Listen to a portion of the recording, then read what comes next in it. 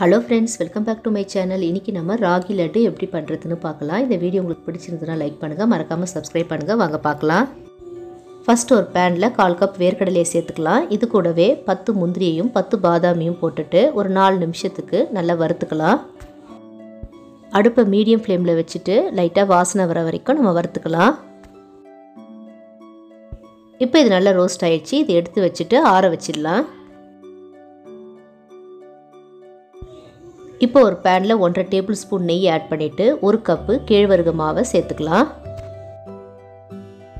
இப்போ ஏதோ ஒரு ஆறுலேருந்து எட்டு நிமிஷம் வரைக்கும் சிம்மில் வச்சுட்டு வாசனை வர வரைக்கும் நல்லா வறுத்துக்கலாம். இப்போ இது நல்லா வறுப்பட்டாச்சு நம்ம எடுத்து வச்சுட்டு இதையும் ஆற வச்சிடலாம். இப்போ நம்ம வறுத்து வச்சிருந்த நட்ஸ்லாம் நல்லா ஆறிடுச்சு இது ஒரு மிக்சி ஜாரில் சேர்த்துக்கலாம்.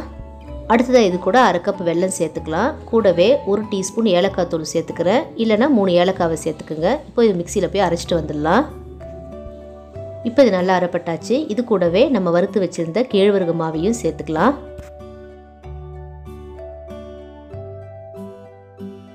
ராகி மாவை சேர்த்ததுக்கப்புறம் மறுபடியும் ஒரு வாட்டி மிக்சியில் அரைச்சிக்கலாம். இப்போ அரைச்ச மாவை ஒரு பவுலில் சேர்த்துக்கலாம்.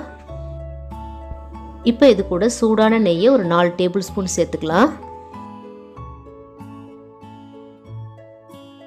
இப்போ இதை நல்லா கலந்து விட்டுக்கலாம். சூடாக இருக்கிறதுனால நம்ம வந்து ஒரு கரண்டியில் கலந்துக்கலாம்.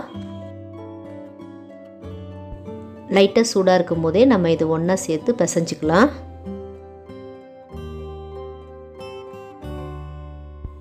இப்போ இதை நம்ம சின்ன சின்ன உருண்டைகளாக பிடிச்சிக்கலாம். இதில் நெய் நட்ஸ்லாம் இருக்கிறதுனால ரொம்ப டேஸ்ட்டாகவே இருக்கும். இந்த ஹெல்த்தியான லட்டை நீங்களும் வீட்டில் செஞ்சு பாருங்கள் உங்களுக்கு பிடிச்சிருந்ததுன்னா மற்றவங்களுக்கும் ஷேர் பண்ணுங்கள் தேங்க்ஸ் ஃபார் வாட்சிங்